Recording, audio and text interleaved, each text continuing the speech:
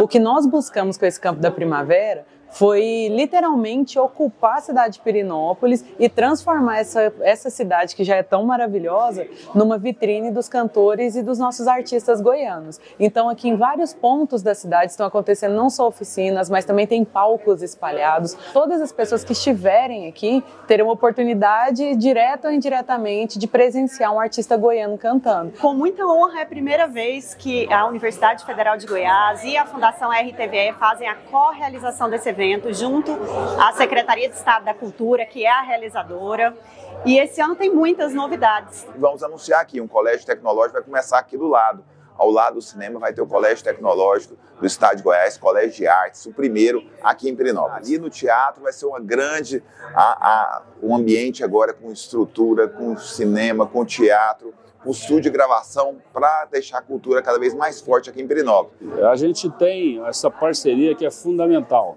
Quando nós levamos o pleito ao secretário César, à secretária Ara, eles foram muito sensíveis ao canto Kids para dar oportunidade às nossas crianças. E agradecer ao governo de Goiás por estar investindo na cultura você investe em obras físicas, mas você tem que investir na cultura, que é importantíssimo dar essa oportunidade às pessoas. Agradecer e parabenizar o FG e toda a equipe que está coordenando esse belo evento. É construído de várias mãos. Por isso que está essa maravilha de, de encontro, né, de canto da primavera de Pirinópolis 2023. O governador Ronaldo Caiado, quando ele recriou a Secretaria de Estado da Cultura, ele selou um compromisso de democratizar o acesso aos recursos recursos e pulverizar esses recursos para todos aqueles que precisam e não deixar o centralizado só em um único grupo. E nisso veio, junto ao social, junto com a nossa primeira-dama Gracinha Caiado, a, o fomento e o auxílio àqueles artistas que estão começando e muitas vezes não têm oportunidade de conseguir gravar um single, de não conseguir se apresentar e até mesmo comprar os seus instrumentos. Então, por isso que muitas vezes a gente fala que a cultura também é social. E esse estúdio só demonstra que a cultura, sim, ela também é social. Porque ali ou aqui nós estamos dando oportunidade daquelas pessoas que não têm oportunidade de pagar um estúdio ou de ter acesso a um estúdio, ter esse acesso gratuito aqui durante o festival. Toda a diversidade musical possível, ritmos e etc. Então, além disso, também a gente está transformando a cidade de Pirinópolis numa parceria, né?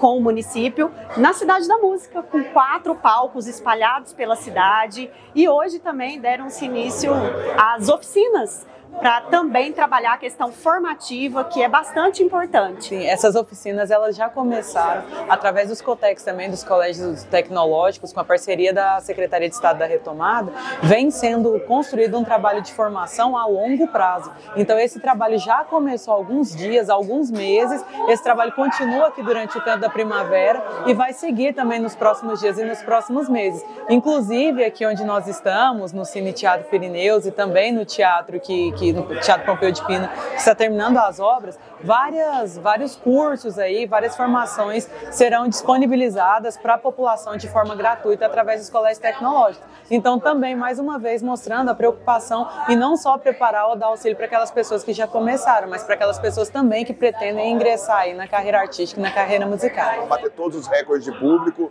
e a integração com a cidade, a cidade está animada, os hotéis são lotados, então é renda, é cultura para a nossa população toda. Fomenta a nossa economia, incentiva os artistas locais, dá oportunidade do nosso povo, da nossa região, é, poder estar assistindo é, shows fantástico com artistas de renome nacional. Isso é fundamental para a nossa indústria do turismo. Para tudo isso estar tá pronto, né? Primeiro é o governo do Estado de Goiás promovendo é, pela Secretaria de Cultura, que tem acessibilidade é, de, de, poder fazer cada coisa com arte mesmo, com essa atenção toda, é, e a gente entender o quão importante é para a cena musical do estado de Goiás. É o maior evento do estado de Goiás na parte de música. E para isso acontecer, a gente precisa de cada pessoa que está aqui envolvida no apoio, os motoristas, a limpeza, os seguranças, os produtores, os técnicos,